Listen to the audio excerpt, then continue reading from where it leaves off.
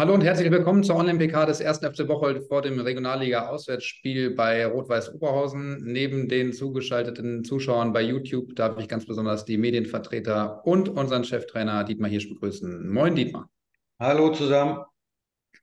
Dietmar, vergangenes Wochenende der vierte Heimsieg im vierten Heimspiel. Wie zufrieden warst du mit der Leistung deiner Mannschaft und inwieweit macht dich diese Leistung optimistisch für das Auswärtsspiel am Samstag?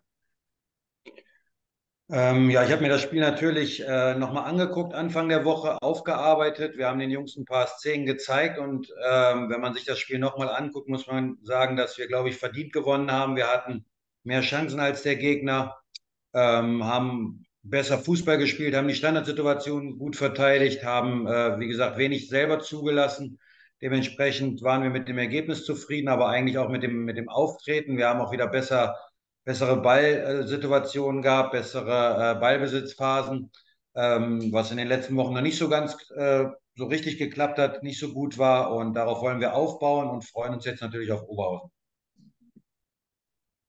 Das Spiel am Samstag im Stadion Niederrhein ist schon eine Art Spitzenspiel. Rot-Weiß Oberhausen hat ja auch einen guten Saisonstart hingelegt. Äh, zuletzt gab es ein 0 zu 0 gegen Rot-Weiß Aalen. Wie schätzt du die Oberhausener Mannschaft ein?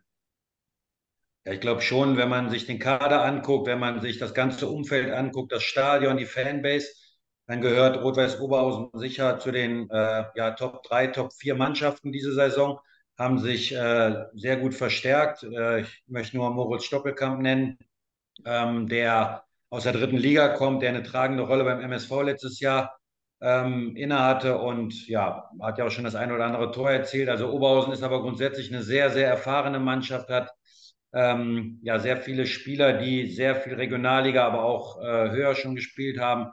Und das wird auf jeden Fall eine harte Nuss. Wir müssen uns äh, ja auf einen heißen Tanz einstellen, auf dem Platz, aber natürlich auch äh, von den Rängen, weil ich habe es ja eben gesagt, Oberhausen hat immer sehr, sehr viele Fans.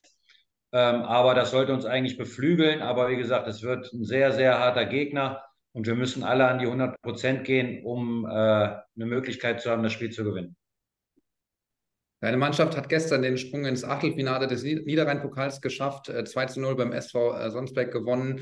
Ähm, wie sieht es in personeller Hinsicht für die Partie am Samstag aus? Jano Jansen hat gestern sein Comeback gegeben. Gibt es Spieler, die äh, in Anbetracht der Pokalpartie angeschlagen sind oder gibt es Spieler, die noch zusätzlich in den Kader zurückkehren? Ähm, nö, also eigentlich hat sich äh, nicht viel verändert. Noah Salau und Flo Meyer waren ja gestern noch nicht im Kader. Äh, wird wahrscheinlich fürs Oberhausen-Spiel auch etwas zu früh sein. Die haben so diese richtige, äh, also das richtige Training, 100, also 100 Prozent des Trainings haben sie erst Anfang dieser Woche absolvieren können vor dem Pokalspiel, haben auch dann äh, Zweikämpfe gehabt in der Spielform. Aber ja, ich glaube, das, das dauert dann halt ein, zwei Wochen, bis dann auch so richtig dann dieser Trainingsrhythmus wieder da ist und sie dann auch für den Kader in Frage kommen. Äh, Stand jetzt hat sich beim Pokalspiel auch keiner verletzt, sodass eigentlich alle einsatzfähig sind, außer Brian Kampmann weiterhin. Da gehen wir noch von zwei Wochen aus und hoffen, dass er dann auch wieder einsatzfähig ist. Danke dir, Dietmar. Das waren soweit meine Fragen an unseren Cheftrainer. Gibt es von den Pressekollegen in Person von Matthias Grütter Fragen? Ja, hallo in die Runde erstmal. Guten Tag.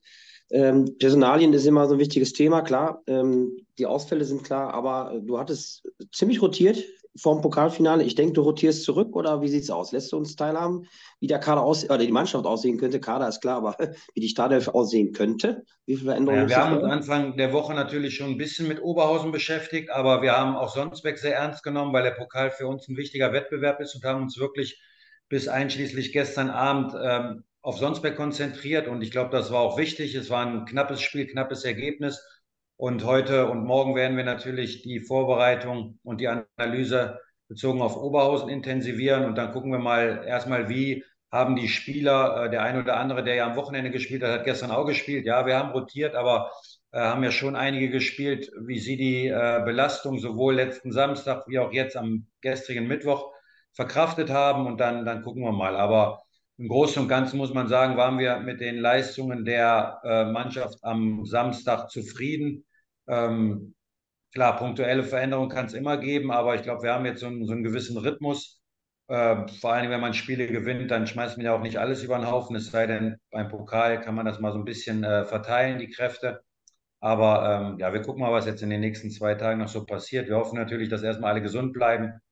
Und dann hoffe ich und glaube, dass wir die richtigen elf finden, die anfangen und dann auch gut einwechseln können. Okay, danke schön.